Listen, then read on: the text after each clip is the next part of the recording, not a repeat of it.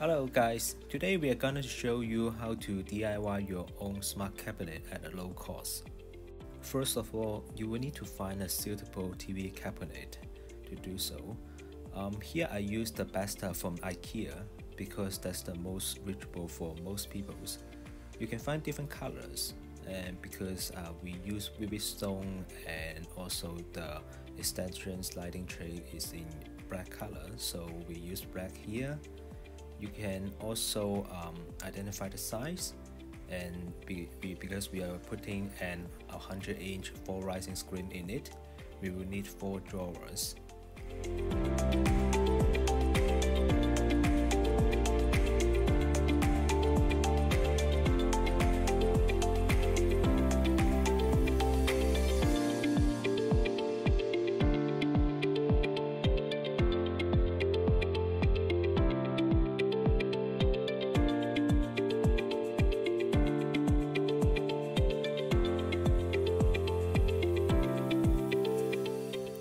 So that's basically it.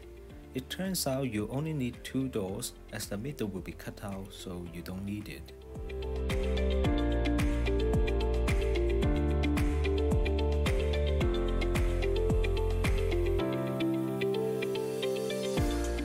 The next thing will be measure the size and cut it out.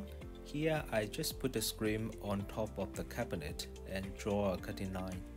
Unfortunately, my 360 camera was not working properly, so I didn't film the whole process.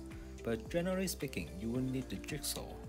And it took a rookie like me about 2 hours to learn how to use the jigsaw and cut it all. If you are experienced, you will do much better job than I do. That's the final product. It will have a screen and a tray automatically sync with the projector. I've tried it with different UST projectors and it works well. The only problem is due to dimension limit and the throw ratio of the projector. The screen had to be put in a little bit out of the top as you might have noticed. Feel free to check our store to find a suitable accessories and projector. See you guys next time. Peace.